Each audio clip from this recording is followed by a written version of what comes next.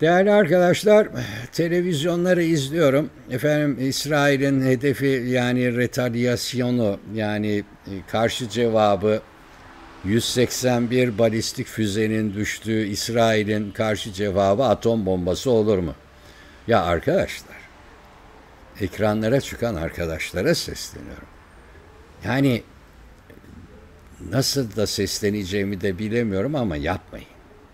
Yani bu Türk kamuoyunu e, beynini fazla bulandırıyorsunuz. Bakın çok okumuş yazmış bir akrabam dün akşam beni aradı. Abi dedi. Efendim yavrum dedim. Ardan amca. Evet. Şeye mi sal bize mi saldıracak? Kim? İsrail. Niye dedim. E, herkes onu so konuşuyor. Ya bırakın. Erdoğan'ın söylediği Erdoğan'ın söylediği başka bir şey bugünden yarına bize saldırmayacak ki. Erdoğan'ın söylediği Yinon planı çerçevesinde 1982 Yinon planı çerçevesinde oluşturulmuş Siyonist yayılma stratejisi çerçevesinde hepsi yaptı, söylediklerini yapıyorlar. Yani Irak'ı çökerttiler, Suriye'yi çökerttiler, Lübnan'ı, Libya'yı, Mısır'ı, her yeri çökerttiler. Bu planın devamı evet vaat edilmiş topraklar palavrası adı altında Türkiye'nin sınırlarının içine kadar giren bir harita. Ama bu bugünden yarın olacak bir şey değil ki. Erdoğan bunu geleceğin planı olarak güzel bir şekilde anlattı. Ama öyle bir yansıtıyorsunuz, öyle bir tartışıyorsunuz ki zannediyorlar ki bütün insanlar ya Lübnan'dan sonra galiba İsrail bize saldıracak. İsrail'in bunu bunu yapması için kelimenin tam anlamıyla kafayı yemesi lazım. Niye? Sorun bana niye? Çünkü İsrail bugüne kadar 80 yılda doğru düzgün NATO standardında bir orduyla savaşmadı. Herkesin gözden kaçırdığı bir gerçek var. NATO standardı önemli bir standarttır gençler. Yani NATO standardında bir ordu küçük bile olsa ciddi bir standarttır. Mesela Türkiye ile Yunanistan. Yunanistan'ın ordusu bize göre küçüktür ama efektiftir.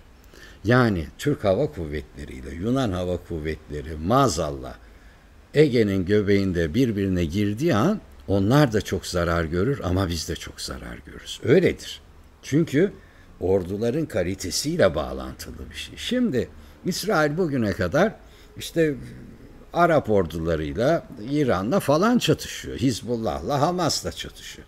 Siz delirdiniz mi? Kafayı mı mı yedi millette? Bu birdenbire efendim Türkiye'ye saldıracak mı? Nasıl saldırır ya? Bir defa İsrail'in bunu hayal etmesi bir de söz konusu olamaz. Bu Erdoğan'ın söylediği yayılmacı politika başka bir denklem.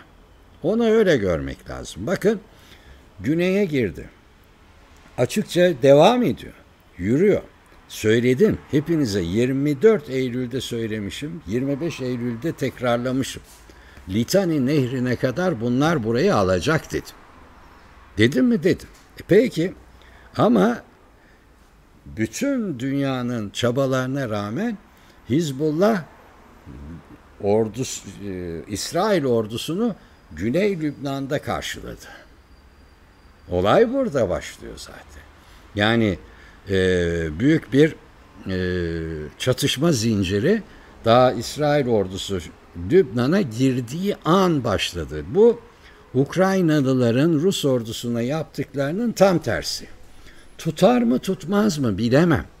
Ben e, güçlü bir konvansiyonel orduya karşı gerilla harbi tarzı bir savaş yapacak isem ki Ukraynalılar biliyorsunuz savaşın ilk 38 gününde olağanüstü başarılı bir iş yaptılar. Böyle bir şey yapacak isem o ordunun daha biraz içeri girmesini, daha içeride baskına uğramasını düşünür idim. Ama anladığım kadarıyla Hizbullah farklı düşünmüş. İsrail'in Lübnan sınırındaki askeri varlığına karşı kararlı ve düzenli saldırılarımız sürüyor. 3 İsrail Tugayı doğrudan hedef alındı. Siyonist ordunun ağır kayıp verdiği görülüyor.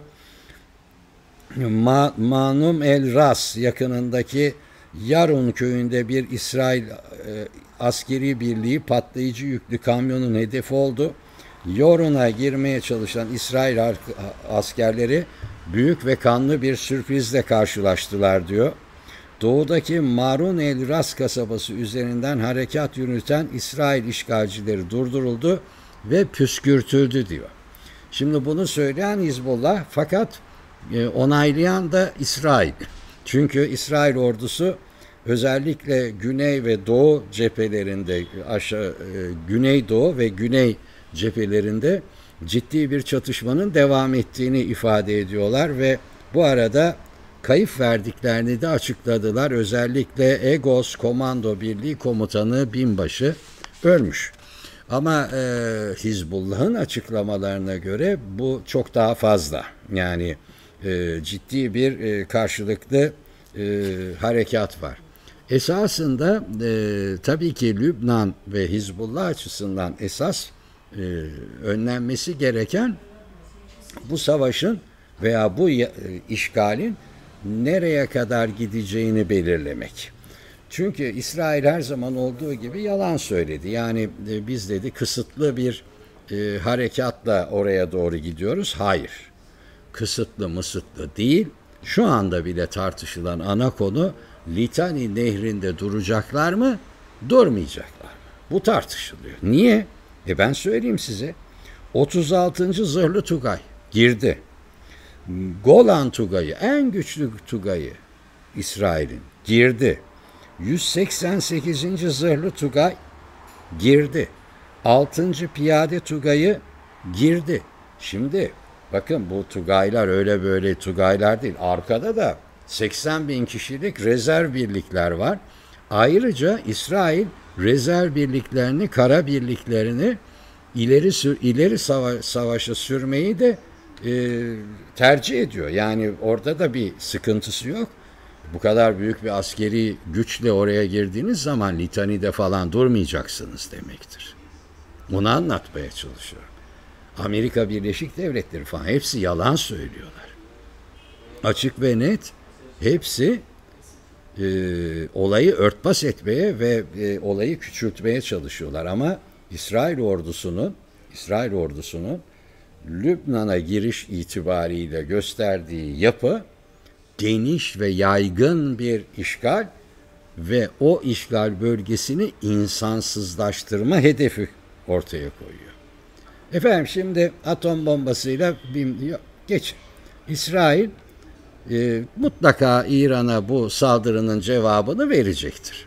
Ama bu e, büyük bir olasılıkla İran'ın nükleer tesisleri öncelikli ve e, petrol ve petrol ve e, doğal gaz bölgeleri ağırlıklı olacaktır.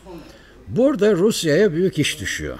Rusya ne kadar e, iyi bir müttefik burada göreceğiz. Çünkü İran'ın hava savunmasının çok iyi olmadığını hepimiz biliyoruz.